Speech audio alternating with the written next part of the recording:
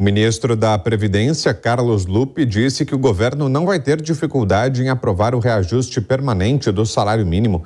O repórter Rodrigo Viga traz as informações. O governo não deve ter dificuldade na aprovação no Congresso Nacional de um projeto de lei para garantir o reajuste permanente do salário mínimo aqui no Brasil. A análise foi feita nesta segunda-feira pelo ministro da Previdência, Carlos Lupe. Nesse primeiro de maio, o salário mínimo aqui no país passou para R$ 1.320. O ajuste, no entanto, veio através de uma MP, de uma medida provisória. Lupe disse ter certeza que o Congresso Nacional vai aprovar um projeto nessa linha, dessa natureza, nessa direção.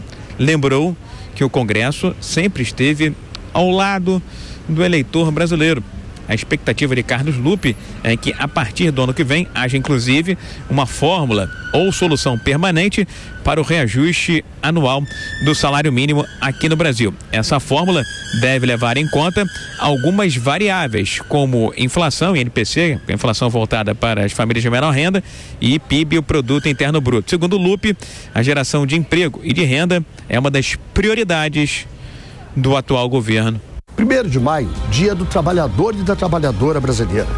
Dia de luta. Nós do PDT sempre estamos lutando ao seu lado, por melhores salários, melhores condições de trabalho. Nós precisamos nos unir, unir a classe trabalhadora, porque só o salário dá dignidade.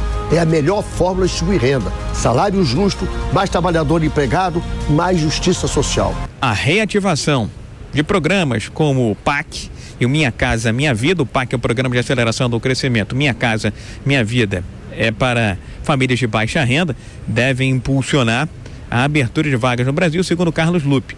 Dados do DIES mostram que o aumento do salário mínimo deve impactar e beneficiar cerca de 54 milhões de brasileiros.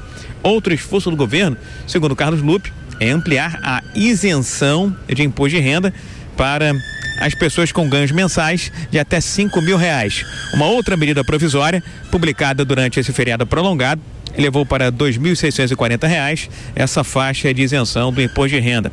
Antes, estavam isentos aqueles que ganhavam até R$ 1.903. Quase 14 milhões de brasileiros, segundo estimativas, devem ficar desobrigados de declarar o imposto de renda com essa nova faixa de isenção. Do Rio, Rodrigo Viega.